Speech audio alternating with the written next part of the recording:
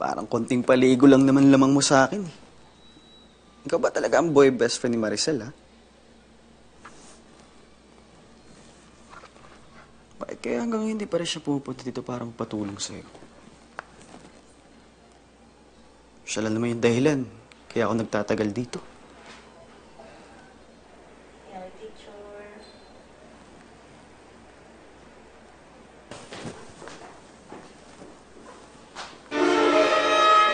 Anong ginagawa mo dito sa loob ng bahay? At ba't hawak mo picture ng anak ko, ha? Ah, s- sir, kamukha ko kasi siya ng pinsan ko. Ah, saka sir, ah, nahatid na po namin ni ma'am yung donation sa orphanage. Eh, hindi ko kasi nabalik sa kanya yung susi kaya ibabalik ko sana sa inyo.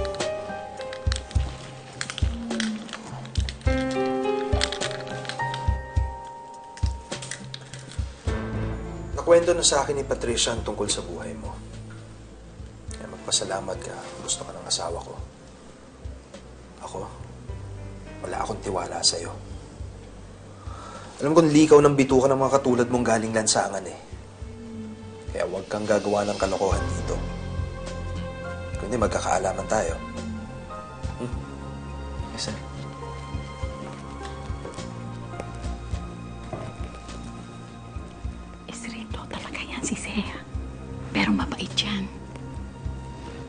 Mukha ka namang mabait at matino eh. Kaya walang magiging problema, ano? Hindi ka dapat matakot. Makukuha mo rin ang tiwala niya pag tagal-tagal. Hindi nga pwedeng mawala yun. Ano ba akong malilintikan sa kliyente? You have to find it. I don't care how you do it, but find it.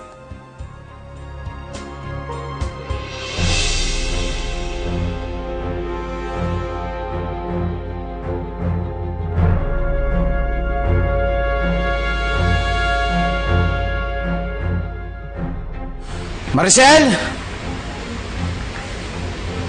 Maricel!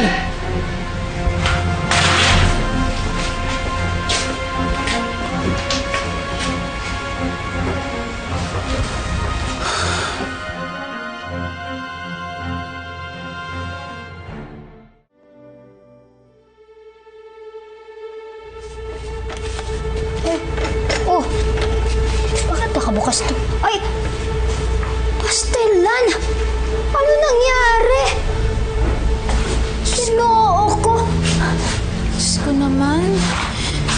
Pinasok tayo!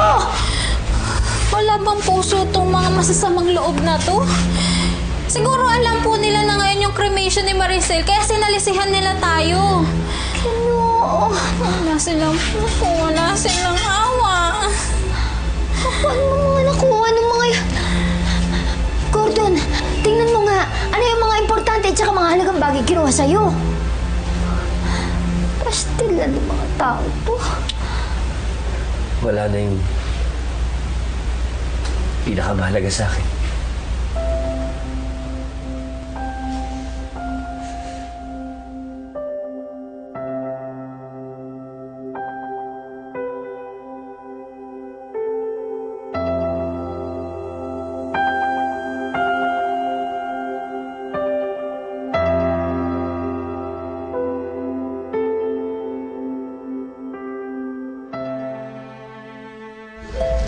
Bantayan niyo silang maigi.